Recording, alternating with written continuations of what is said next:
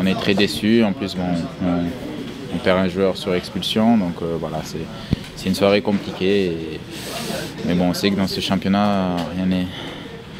Ça sera compliqué jusqu'à la fin. Donc voilà, on, s'attend encore à des matchs difficiles. Et vous savez, quand on joue le, maintien, c'est toujours compliqué.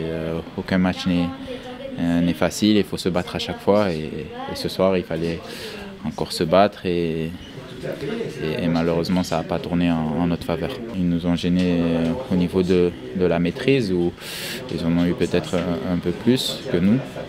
Euh, ensuite, moi je pense aussi qu'il y a un petit facteur un peu chance ou un peu plus de réussite. Voilà, en première mi-temps, quand même, ils n'ont pas forcément de nombreuses occasions. Ils ont, une belle occasion, Mohamed fait l'arrêt. Ensuite, nous aussi, on a, on a une occasion où ça tape la barre.